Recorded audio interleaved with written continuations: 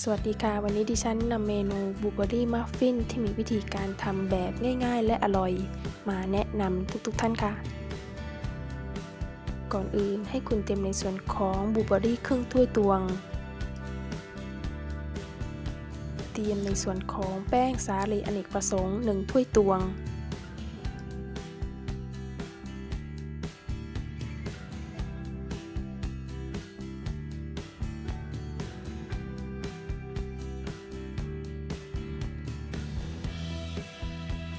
เตรียมแป้งข้าวโพด 1 ช้อนโต๊ะ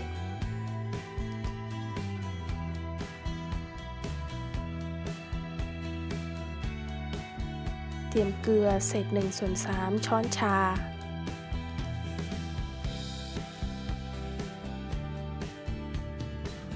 เตรียมเบกกิ้งพาวเดอร์ 1 ช้อนชาครึ่ง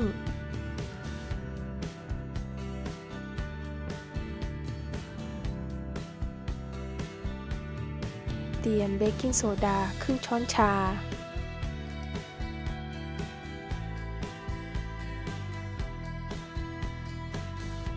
ให้คุณนำส่วนผสมทั้งหมด เทใส่ในเครื่องร่อน ร่อนส่วนผสมทั้งหมดใส่ชามผสม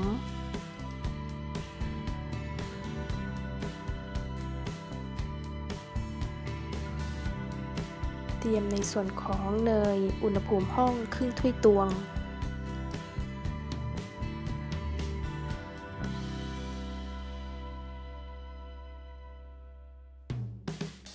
ใช้เครื่องตีเนยให้เป็นเนื้อเนียน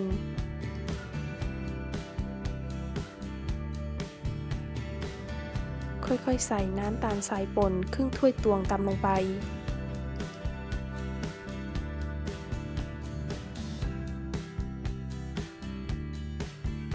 ตีเนยและน้ำตาลให้เข้ากันจนเป็นเนื้อเนียน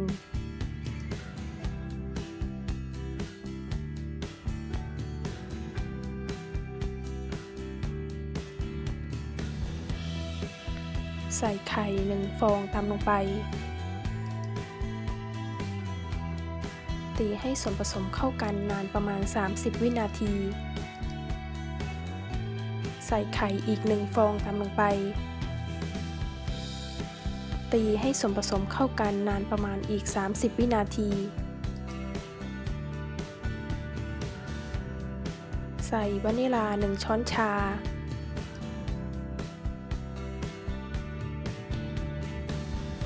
ตีให้ส่วนผสมเข้ากัน แบ่งส่วนผสมแป้งออกเป็น 2 ส่วนและ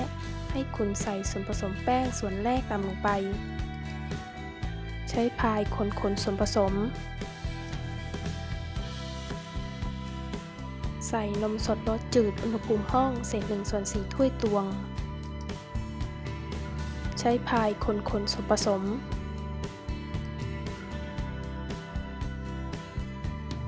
ใส่ส่วนผสมแป้งส่วนที่เหลือตามลงไป ใช้พายคนส่วนผสม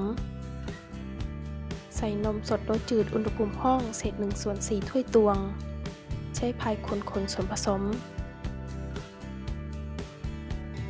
ใช้เครื่องตีส่วนผสมทั้งหมดนานประมาณ 30 วินาทีโดยใช้ความเร็วต่ำ ให้คุณนำบลูเบอรี่จัดวางใส่ถ้วยพิมพ์กระดาษมัฟฟิน ตักส่วนผสมแป้งที่เพิ่งทำเสร็จใส่ตามลงไป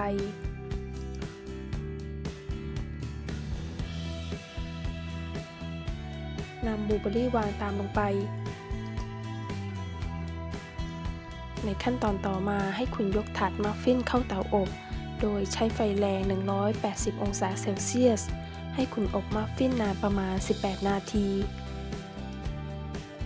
นี่คือมัฟฟินที่อบเสร็จเรียบร้อยแล้วค่ะเมนูบลูเบอรี่มัฟฟินที่มีวิธีการทำแบบง่ายๆ และอร่อยสำหรับวันนี้เสร็จเรียบร้อยแล้วค่ะ ดิฉันขอบคุณทุกๆท่านที่รับชมวิดีโอนี้ ไว้พบกันใหม่วิดีโอหน้า สวัสดีค่ะ